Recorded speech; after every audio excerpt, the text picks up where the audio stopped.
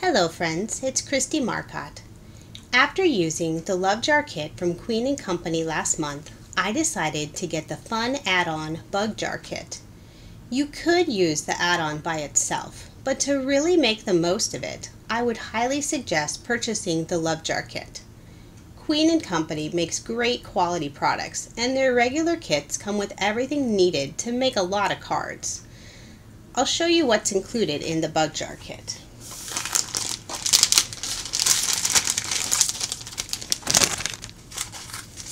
To start with, it has this really fun stamp set. Lots of little sentiments, and then it has the topper for their jar, lots of little bugs. And then to go along with it, it has coordinating dies. And then the rest is all of the little fillers, and they're all little bugs. There's like leaves there's bugs lots of different colors. Little bees and some ladybugs. So it really comes with a lot to make it a shaker card kit. So along with the bug jar kit, I went and purchased another pack of the refills to go with the love jars. So this one has enough of the foam refills to do nine more shaker cards. Since the kit does not include any paper pads, I did pick up their 6x6 Delightful Dots. So it's very rainbow colors and then it has the small polka dots and then the large polka dots on the other side.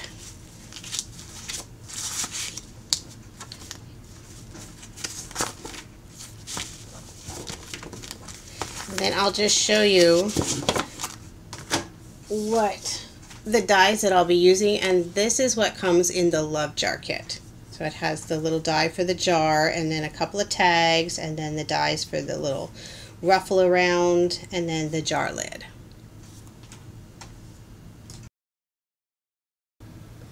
Along with the 6x6 paper pad, I'll be using a variety of coordinating cardstock to make cards. I never know how much cardstock I will need, so I just try to choose several colors to use for the backgrounds and matted layers. I really love the bright rainbow colors and all the polka dots in the paper collection. I've never used a paper pad for my 6x6 tutorial that only included two paper designs. It was a fun challenge selecting card sketches that would work well with the collection. If you've never used a Queen & Company shaker card kit before, I highly recommend it.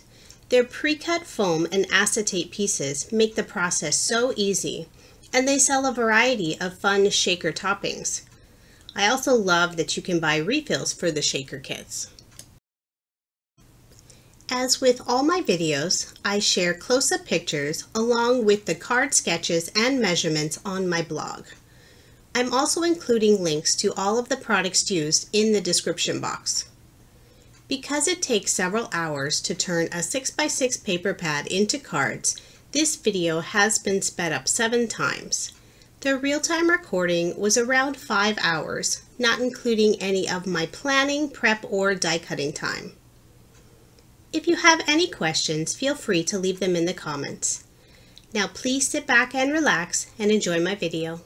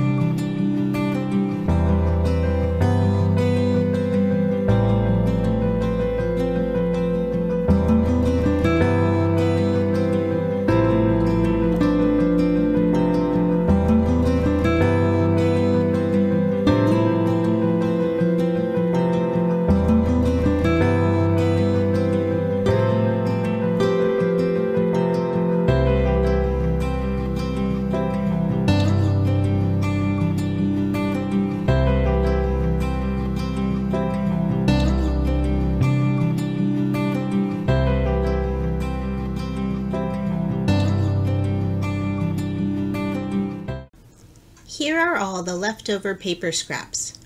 In addition to the paper pad, I also used 7 sheets of 12 by 12 and 17 sheets of 8.5 by 11 solid colored cardstock. A total of 31 cards were made using Queen & Company's Delightful Dots 6x6 paper pad. If you enjoyed my cards, make sure to click on the product links below so you can purchase the Bug Jar and Love Jar kits. Thank you so much for watching my video and don't forget to subscribe to my channel. I always appreciate the support. I hope you have a wonderful day.